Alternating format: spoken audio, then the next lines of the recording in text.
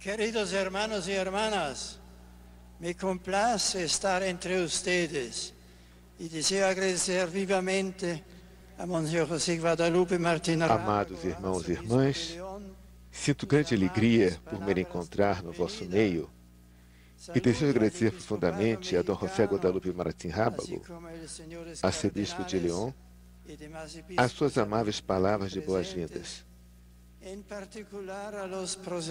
Saúdo o episcopado mexicano e ainda os senhores cardeais e os outros bispos aqui presentes, em particular, quantos provêm da América Latina e do Caribe. Dirijo a minha saudação calorosa também às autoridades que nos acompanham e a todos que se congregam aqui para participar nesta Santa Missa presidida pelo sucessor de Pedro.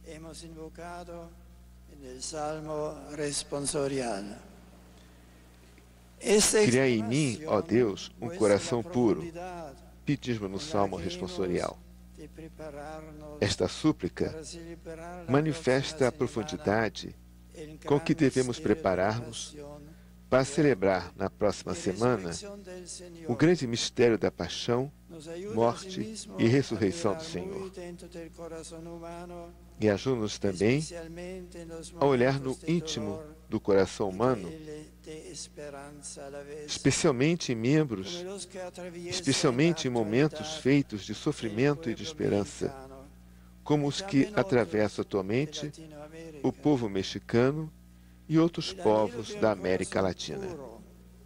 Sincero, humilde, aceitável a Deus. O anseio de um coração puro, sincero, humilde, agradável a Deus, era já muito sentido por Israel à medida que ia tomando consciência da persistência do mal e do pecado no seu seio, como um poder praticamente implacável e impossível de superar.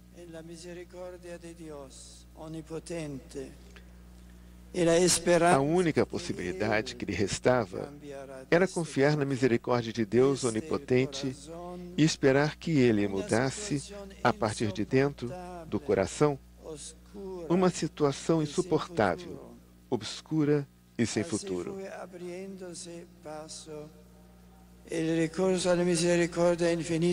Assim, foi ganhando espaço o recurso à misericórdia infinita do Senhor, que não quer a morte do pecador, mas que se converta e viva. Um coração novo é ele que se reconhece impotente. Um coração puro um coração novo é aquele que se reconhece impotente por si mesmo e se coloca nas mãos de Deus para continuar a esperar nas suas promessas.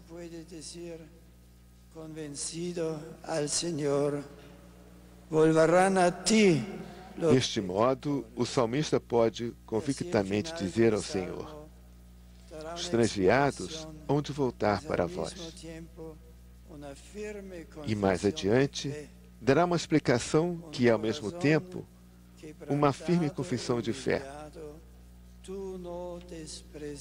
Não desprezarei, Senhor, um espírito humilhado e contrito. e batalhas, para, pero a la hora de afrontar su existencia más auténtica, a história de Israel narra também grandes proezas e batalhas. Mas quando se trata da sua vida mais autêntica, do seu destino mais decisivo, isto é, da salvação, mais do que em suas próprias forças, Israel depõe a sua esperança em Deus, que pode criar um coração novo, sensível e submisso. Hoje, isto pode recordar a cada um de nós e aos nossos povos que, quando se trata da vida pessoal e comunitária, na sua dimensão mais profunda, não basta as estratégias humanas para nos salvar. temos também nós de recorrer ao único que nos pode dar vida em plenitude, porque Ele mesmo é a essência da vida e o seu autor, tendo-nos feito participantes dela por seu Filho Jesus Cristo. Como esse antigo anelo de vida plena o Evangelho de hoje vai mais longe, fazendo-nos ver como este antigo anseio de vida plena se cumpriu realmente em Cristo. Explica o São João numa passagem onde se cruzam o desejo que alguns gregos tinham de ver Jesus e o momento em que o Senhor está para ser glorificado. A pergunta dos gregos, representantes do mundo pagão, Jesus responde dizendo: Chegou a hora de o Filho do Homem ser glorificado. Uma resposta estranha que parece incoerente com o pedido dos gregos que tem a ver a glorificação de Jesus com o pedido de se encontrarem com Ele? E, todavia, há uma relação. Como anota Santo Agostinho, alguém poderia pensar que Jesus se sentisse glorificado porque vinham ter com ele os gentios. Algo parecido, diríamos nós hoje, com os aplausos da multidão quando tributa glória aos grandes do mundo. Mas não é assim. Convinha que a sublimidade da sua glorificação fosse precedida pela humildade da sua paixão. Anunciando sua paixão iminente, viene a dizer que um encontro ocasional. A resposta de Jesus, que anunciava a sua paixão como iminente, diz-nos que um evento um eventual encontro naquela hora seria supérfluo e talvez ilusório.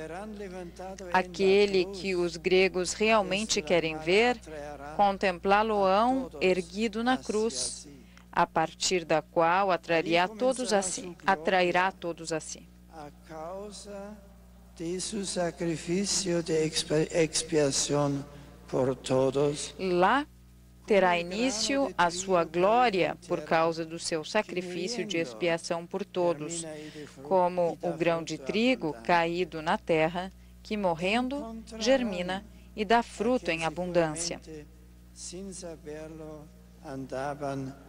Encontrarão aquele que os este é também o modo como Nossa Senhora de Guadalupe mostrou o seu divino filho a São Juan Diego. Não como um lendário herói portentoso, mas como o verdadeiro Deus pelo qual se vive. O Criador das pessoas, dos vizinhos e parentes, do céu e da terra.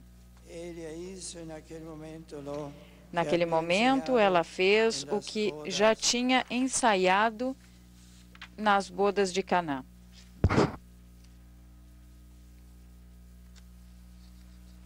De Caná. Ante apuro de falta de vinho, na aflição pela falta de vinho, indicou claramente aos serventes que o caminho a seguir era o seu filho. Fazei o que ele vos disser. Amados irmãos, quando vinha para cá, passei pelo monumento a Cristo Rei, no cimo do cubilete. O Beato João Paulo II, meu venerado predecessor, embora o desejasse ardentemente, não pôde visitar este lugar emblemático da fé do povo mexicano nas viagens que fez a esta amada terra. Hoje, certamente, rejubilará no céu pela graça que o Senhor me concedeu de poder estar agora convosco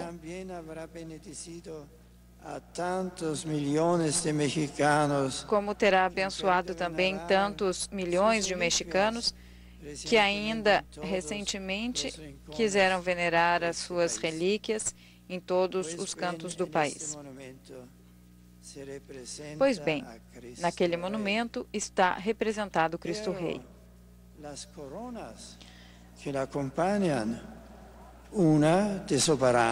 Mas as coroas que o acompanham, uma de soberano e outra de espinhos, indicam que a sua realeza não é como muitos a entenderam e entendem. O seu reino não consiste no poder dos seus exércitos submeterem os outros pela força ou pela violência. Funda-se num poder maior que conquista os corações. O amor de Deus que ele trouxe ao mundo com o seu sacrifício e a verdade de que deu testemunho. Este é o seu domínio, que ninguém lhe poderá tirar e que ninguém deve esquecer.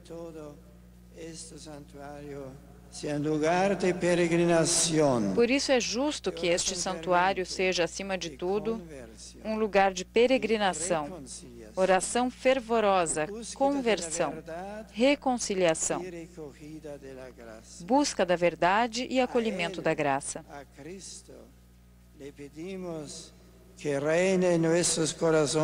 Pedimos a Jesus Cristo que reine nos nossos corações, tornando-os puros, dóceis, cheios de esperança e corajosos na própria humildade. Que se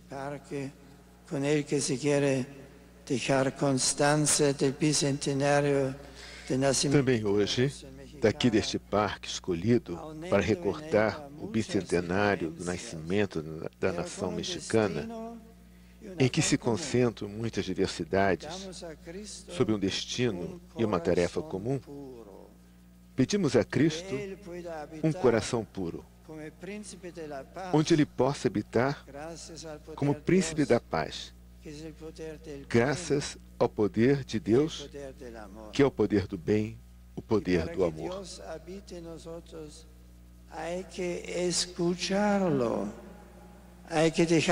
E para que Deus habite em nós, é preciso escutá-lo, deixar-se interpelar cada dia pela Sua palavra, meditando no próprio coração, a exemplo de Maria.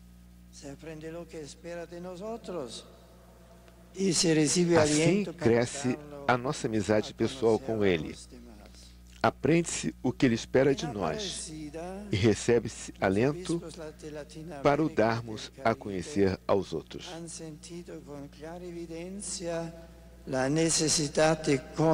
Na conferência de Aparecida, os bispos da América Latina e do Caribe reconheceram com clara evidência a necessidade de confirmar, renovar e revitalizar a novidade do Evangelho radicada na história destas terras, a partir de um encontro pessoal e comunitário com Jesus Cristo, que desperte discípulos e missionários. Tiene precisamente el cometido e a missão continental, que agora se está realizando de diocese em diocese neste continente, tem precisamente como objetivo fazer chegar esta convicção a todos os cristãos e às comunidades eclesiais para que resistam à tentação de uma fé superficial e rotineira, por vezes fragmentária e incoerente. De ser cristianos, de estar sostenidos por a felicidade interior de Também aqui se deve superar o cansaço da fé e recuperar a alegria de ser cristão. o ser sustentado pela felicidade interior de conhecer Cristo e pertencer à sua igreja. E desta alegria nascem também as energias para servir Cristo nas situações opressivas de sofrimento humano, para se colocar à sua disposição em vez de acomodar-se no próprio bem-estar.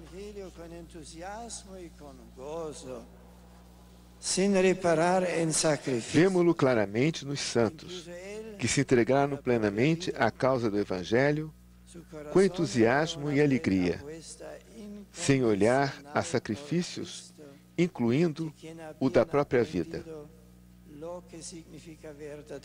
O seu coração vivia uma aposta incondicional por Cristo, de quem tinham aprendido o que significa verdadeiramente amar até o fim.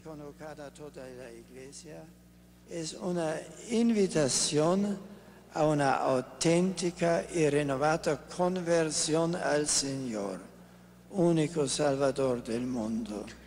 Neste sentido, o ano da fé que proclamei para toda a Igreja é convite para uma autêntica e renovada conversão ao Senhor, único Salvador do mundo. Com efeito, a fé cresce quando é vivida como experiência de um amor recebido e é comunicada como experiência de graça e de alegria.